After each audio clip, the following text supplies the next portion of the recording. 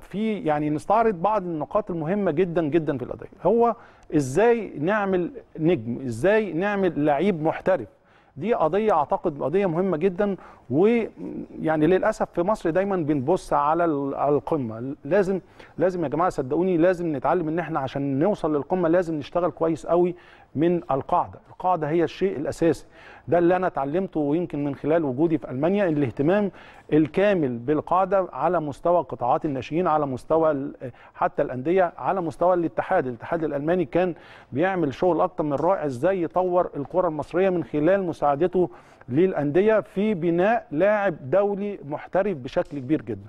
وعشان كده زي ما بقول لحضراتكم قطاعات الناشئين أو الأكاديميات ما يسمى الأكاديميات في أوروبا كانت إزاي بتشتغل إزاي إزاي بتطور إزاي الشغل فيها. بنتكلم على تطوير المدربين نفسهم. مش كل مدرب يبقى عنده آه، بعض الخبرات في كرة القدم أو على مستوى لعيب يقدر يكون أو يقدر يبني آه، لعيب مميز. ده ده شيء مهم جدا. كمان على مستوى الميزانيات.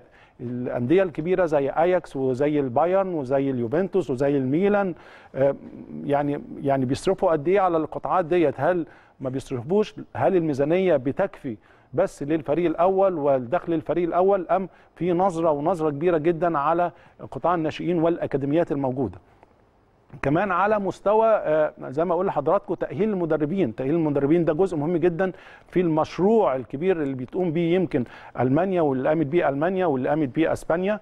إن إزاي في فترة من الفترات كمان إن إحنا كنا بنشوف مدربين على مستوى ال Champions League ثلاث مدربين ألمان في الدور الدور ال- الربع النهائي أو نصف النهائي. فخلينا نشوف مع حضراتكم يمكن بعض الصور اللي هنتابع من خلالها. يعني presentation صغير كده. خلينا نتكلم. قطاع الناشئين كان هدفه إيه؟ قطاع الناشئين طبعا إحنا بنتكلم من الوصول للمستوى الأمثل للعيبة ان تشارك مع فرقها وبالتالي كل ده بينصب لصالح منتخب بلادهم. على سبيل المثال لما نادي اياكس الهولندي كرويف بيتكلم على أكاديمية اياكس وبتقول إنك بتحتاج الخامة الجيدة وكذلك النتائج المميزة إن الخامة الجيدة بدون نتائج مميزة بتعد خسارة والوصول إلى نتائج مميزة بدون خامة جيدة يكون مملا. فالهدف الأساسي من الأكاديمية هو تصعيد ثلاث لاعبين إلى الفريق كل موسمين.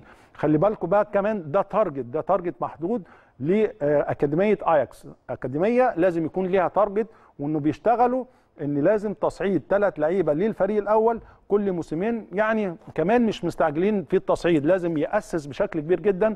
وكرويف بيقول حاجة مهمة جدا. الخامة الجيدة محتاج خامة جيدة ومحتاج لعيب مميز.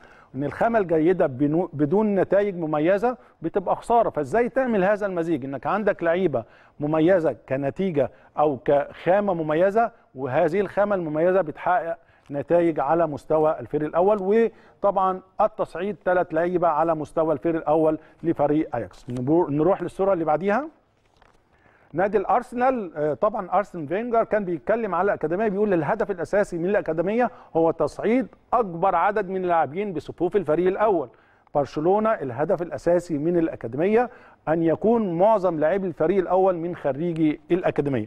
كل دي أهداف بتحط بتحطها الأندية الكبيرة على مستوى الأكاديميات. نادي بايرن ميونخ على سبيل المثال طبعا كارل هانز رومينيجا طبعا كان بيتكلم على أكاديمية البايرن بيقول مع الأكاديمية الخاصة بنا نحن نبني المستقبل لنادينا. سوف نستعين دائما بنجوم من الخارج النادي ولكن نعمل أيضا على تصعيد لاعبي الأكاديمية لارتباطاتهم وانتمائهم للنادي. ودي نقطة مهمة جدا جدا إن آه إحنا بنسعى كتير جدا للحصول على بطولات وإحنا دايما عايزين بطولات لكن ما ننساش إن مهم جدا يكون ولاد النادي. ده ما بين قوسين كده اللي هو بيتكلم على أولاد النادي. لازم يكون عندنا نعمل أيضا على تصعيد لاعبي الأكاديمية لارتباطهم وانتمائهم للنادي كمان على مستوى لأن الناس بعض الناس بتقول خلاص موضوع الانتماء ما بقاش موجود. لا الانتماء موجود. ودايما الناس الكبار تتكلم على رومانيجا نجم كبير جدا بيتكلم على الأكاديمية إن هم مهتمين جدا بالأكاديمية. ما فيش شك هنستعين ببعض النجوم من خارج الأكاديمية أو من خارج آه، النادي لكن عندنا اهتمام كبير جدا كمان باولاد النادي. الميلان الإيطالي ده طبعا يعني قدام حضراتكم حاجة يعني على سبيل المثال إيه استراتيجية العمل في قطاع الناشئين أو في الأكاديميات. بنتكلم في طبعا الجزء الفني والإداري والطبي لكن كمان كمان خلينا نتكلم على الجزء النفسي. الجزء النفسي ده مهم جدا جدا جدا ودايما بتكلم على الطب النفسي. دلوقتي عندنا ويمكن أنا ب... يعني بتكلم مع حضراتكم بكل أريحية إحنا عندنا أمثلة كتيرة جدا. لا عندنا لعيبة ينقصهم هو المستوى النفسي تعديل مؤهل النفسي للتعامل مع المشاكل النفسية للاعبين. ده شيء مهم جدا. هنتكلم كتير على النواحي البدنية والفنية لكن وعلى مستوى التشكيل الإداري لكن كمان مهم جدا في قطاعات الناشئين وفي الأكاديميات إن يكون في جزء كبير جدا ومهم جدا لتأهيل اللعيبة نفسيا. يعني إيه تأهيل اللعيبة نفسيا؟ يعني إزاي أنت تشتغل مع ولد صغير عنده 11 و12 سنة واللي عنده 11 سنة غير التعامل معاه نفسيا غير لما يكون عنده 14 16 18 وهكذا.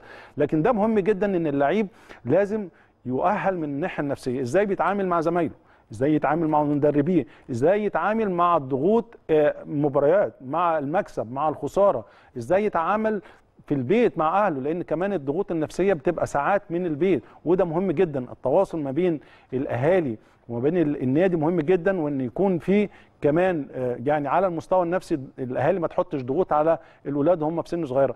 فجزء العامل النفسي دوت مهم جدا في الأكاديميات الكبيرة. زي ما حضراتكم شايفين بنتكلم على خمس أو ست أكاديميات على مستوى العالم. نروح لنقطة مختلفة. بنتكلم على الميزانية. طيب الناس دلوقتي بتقول لك الميزانية ودايما بنتكلم هم بيحطوا يعني على سبيل المثال نادي اياكس حدد نادي اياكس الكلام ده يمكن من سنتين ثلاثة مش update كمان دلوقتي. نادي اياكس الهولندي حوالي 6 مليون يورو سنويا ما يعادل 120 مليون جنيه مصري لأكاديمية اياكس نادي ارسنال حدد 3 مليون يورو سنويا يعني بتتكلم في 60 مليون جنيه. برشلونة حدد 10 مليون يورو سنويا بتتكلم يعني بتتكلم في مبلغ كبير جدا جدا يوصل ل 200 مليون جنيه للأكاديمية. نادي البايرن حدد 4 مليون يورو والميلان حدد 6 مليون يورو. يعني الأرقام ديت خلينا نتكلم سريعا. النقطة دي مهمة جدا. ليه؟ لأن دايما بنتكلم آه قطاعات قطاعات الناشئين أو أكاديميات الخاصة بالأندية آه شيء مهم لكن كمان الميزانية كمان شيء مهم جدا. وأعتقد ده اللي نادينا النادي الأهلي بيشتغل فيه إنه خصص ميزانيه أعتقد ما كانتش موجودة في السنين اللي فاتت وخصصها لقطاع الناشئين وأكاديمياته علشان نطلع لعيب ذو مواصفات عالمية تفيد النادي وكمان تفيد المنتخب. طيب نروح للجزء الأخير أو قبل الأخير البنية الأساسية. زي ما حضراتكم طبعا أكيد مهتمين أو عارفين إن لازم تكون البنية الأساسية من ملاعب وغرف ملابس وكل دوت وعيادة طبية وغرف علاج طبيعي. كل ده لازم يكون موجود في الأكاديمية بشكل احترافي وبشكل يخلي اللعيب وهو صغير يتعود على هذه الأجواء. لكن خلينا نتكلم في نقطة مهمة جدا عملية اختيار مدربي القطاع أو الأكاديميات وتطوير أداء المدربين. برضو سريعا هتكلم مع حضراتكم فيها إن اختبار اختيار مدربي القطاع أعتقد ده شيء مهم جدا جدا جدا. ليه شيء مهم؟ لأن هو دوت الراجل اللي بالظبط بيرعى البذرة اللي بنزرعها.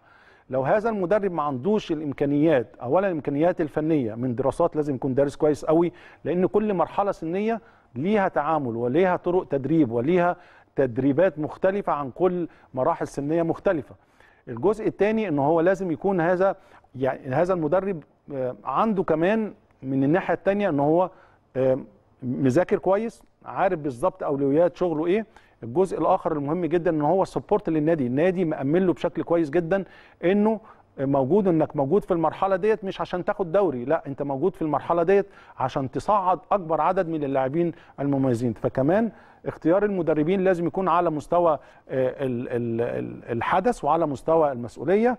وتطوير أداء المدربين كمان ده مهم جدا. ان إحنا دايما مدربي القطاع دايما لازم يكونوا updating بكل جديد updating في النواحي الفنية النفسية البدنية كل ما هو جديد لازم يكون موجود في هؤلاء المدربين. نروح للصفحة اللي بعد كده.